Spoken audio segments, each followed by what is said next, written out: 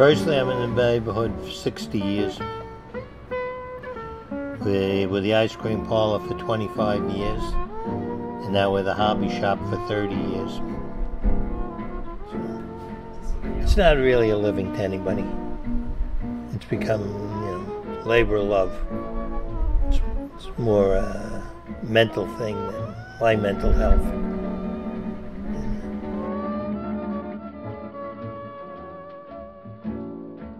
It's the routine. Getting out, seeing the people, having a place to be, something to do. You know, a reason to get going in the morning. Want to take a card? No, thanks. I'm in the neighborhood, so. Okay, I'm not letting you in without one. Bye Bye bye. bye. Bye. Well, I've been coming to Rudy's for for a lot of years. Rudy's a great guy. You know, he orders things for me and he takes care of all the modeling community. And despite his despite his snide attitude, no, let me stop. He's a great guy. You know, he'll if he if it's something available you want it, he'll get it for you.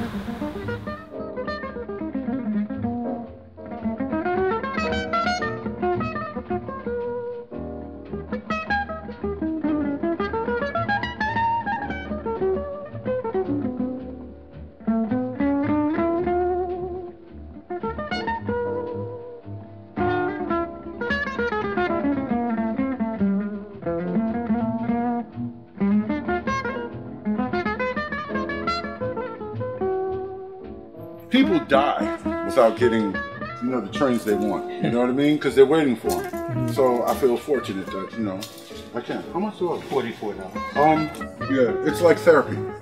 Believe it or not, it's like therapy.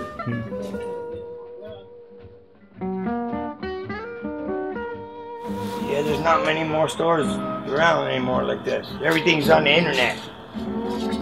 You know, it's nice to look at it. Do you ever buy from the internet, or you prefer, No, I never bought from the internet yet. you prefer to see it in person, or just Yeah, I prefer to come here and look at look at stuff. Yeah, this reminds me of when I was a kid. All the things I couldn't get, now I can get anything I want. Rudy was my father-in-law. Originally opened the ice cream parlor. He retired, then my wife and I ran it. And when we took over, out of respect, we kept the name. It was a bustling little store. We served breakfast, lunch, you know, sandwiches. A lot of good memories made here for a lot of people. They still come back and try and remember, you know. And the old mom and pop shops that you used to see. The small retailer going the way of the dodo bird. There had been a lot of ice cream parlors around. They all closed. Things changed.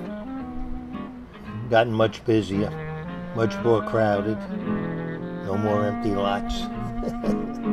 no playgrounds. Well, at this point, there's no sense of me changing, making major changes. I don't know how long I'm going to be here. It's really, you know, as long as I'm healthy and up to it, but change anytime. I'll just close and that's it. It's not something to pass on or.